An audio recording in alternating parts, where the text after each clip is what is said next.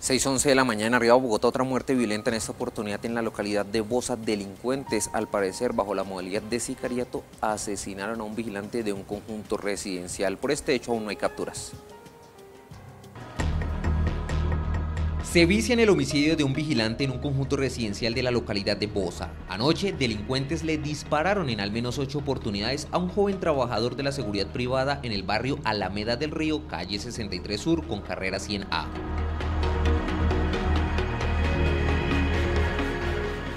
Vigilante, ciudadano venezolano de 23 años de edad y trabajador de una compañía de seguridad legalmente constituida, se encontraba en su turno brindando la seguridad a los habitantes de un conjunto cuando llegaron los delincuentes hasta la portería y lo acribillaron.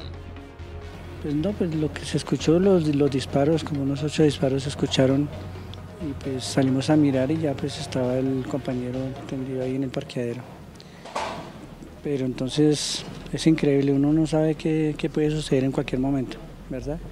Entonces no, pedimos paz, tranquilidad, todos necesitamos trabajar, salir adelante, entonces no, increíble todo lo que sucede. El joven guarda alcanzó a correr algunos metros buscando ayuda, pero se desplomó en pleno parqueadero donde murió. Tuvimos eh, la fatalidad de un vigilante, un guardia de seguridad de aproximadamente 23 años de nacionalidad venezolana que pues trabajaba, como lo mencioné hace un momento, en esta empresa legalmente constituida.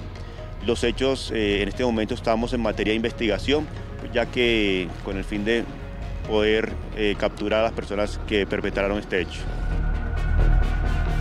Conmoción entre los vecinos, residentes del conjunto y compañeros de su trabajo, quienes alzaron su voz de protesta ante lamentable crimen.